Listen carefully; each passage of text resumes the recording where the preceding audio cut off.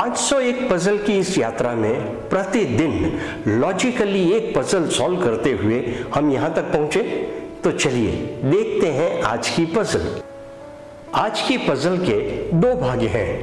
दोनों भागों में आपको दिया जाएगा एक एक सम सम में कुछ लेटर्स होंगे, कुछ होंगे डिजिट्स करना क्या है?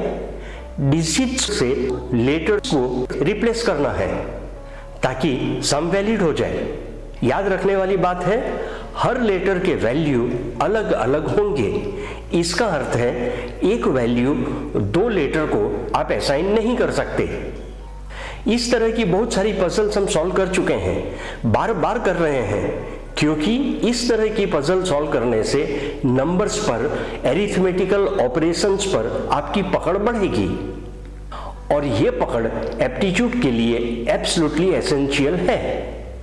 देखते हैं पहला सम सम है C D C D C divided by A B with result of five D zero D and remainder zero logical steps देखते हैं। पहला step A B into five equals to C zero यहाँ से हमें value मिलता है A का A will be equal to one और बी के चार पॉसिबल वैल्यूज़ हैं।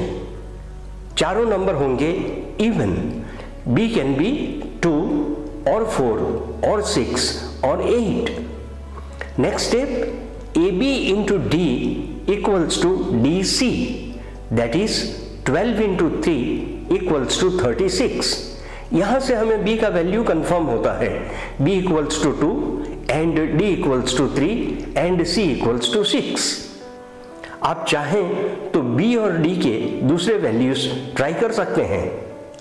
सारे वैल्यूज़ मिल गए।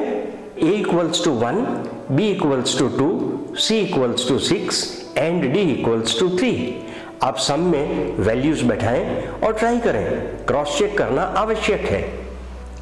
अब देखते हैं पार्ट टू पार्ट टू में सम है A B C A with result of B H nine nine A and remainder zero logical steps देखते हैं। B A into nine equals to B B A A का मूल्य हो जाएगा पाँच B का मूल्य हो जाएगा दो।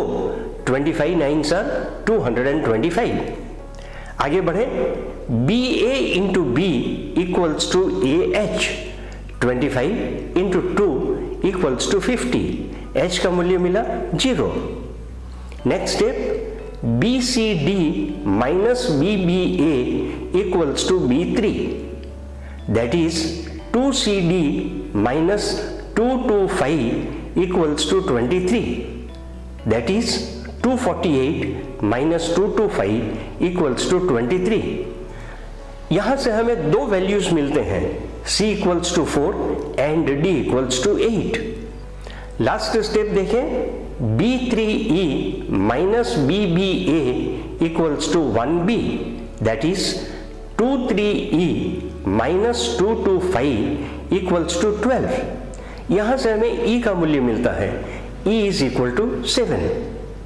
सारे वैल्यूज़ मिल गए A five B two C four D eight E seven and H zero आप लेटर्स को रिप्लेस करें सम को क्रॉस चेक करें।